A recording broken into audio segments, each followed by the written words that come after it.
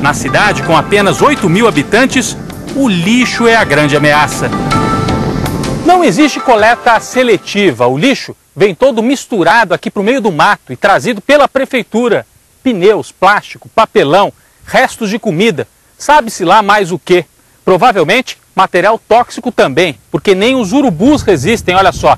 Algumas semanas atrás, vários deles morreram depois de se alimentar dos restos aqui no lixão de Ilha Comprida. Jesus Henrique tem 66 anos e experiência em remexer o lixo. Acha panela, acha, acha relógio, acha celular, acha muita coisa, muita coisa, muita coisa. Um produtor do Jornal da Record esteve na prefeitura e o assessor confirmou.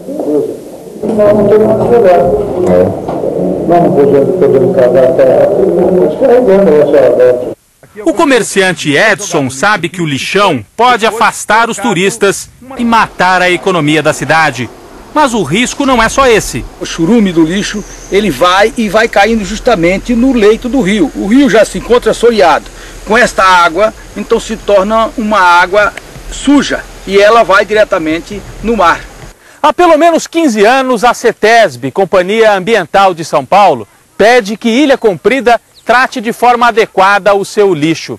Mas em vez de resolver, a prefeitura esconde o problema.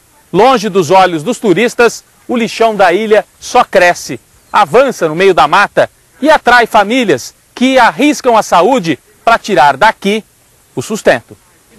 O catador Ayrton nos mostra a placa que parece piada de mau gosto. Daqui para lá, que se eu pegar com a máquina daqui para lá, é só lixo. Por baixo do maço também? Só lixo. Aqui é só o começo. O lixão mesmo é daqui para lá. E é verdade. Andamos 500 metros. E ali estão os restos trazidos nos últimos dias. Quando o caminhão chega, testemunhamos a triste corrida. A prefeitura despeja sem cerimônia.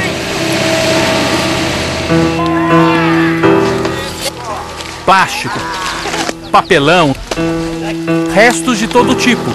Quanto é que vale um saco desse aqui se a senhora conseguir juntar? É, acho que um saco aqui dá 30 reais. É um, é um dia de trabalho. 30 reais dá 60 quilos. A maioria trabalha sem proteção e olha o risco. O que, que tem aí, senhora? Aqui tem seringa, tem agulha e tem vidros de remédio.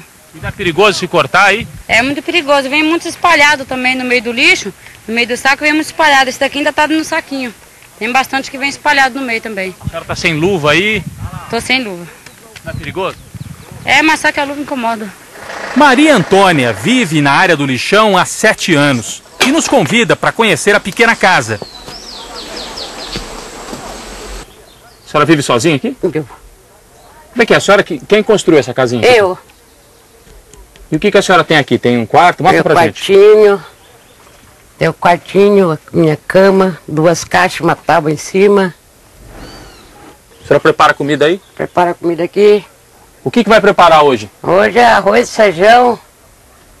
E carne, como é que come? Às vezes, de vez em quando, a gente acha e come. Essa carne que vem no lixão? É. E não faz mal, não? Não. Nunca fez mal. A senhora ferve? Como é que é a Fervento ele, depois eu pego, faço. Agora esse macarrão mesmo aqui foi achado aqui, ó. ó. Mas tá bom? Tá bonzinho, é que ela é da marca assim mesmo. Mas olha, validade 2008. É. Já tá vencido. A senhora é, não tem mas... medo? Não. Não faz mal, não? Não. Uma pesquisadora da Universidade do Colorado, nos Estados Unidos, definiu numa frase a sociologia do lixo.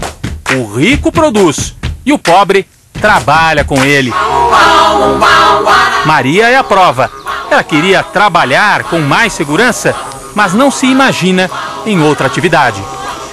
Eu já estou com 55 anos, 7 anos. Quer dizer, para mim arrumar serviço doméstico, para mim não serve, porque eu não enxergo direito. A vida é o lixo mesmo, né?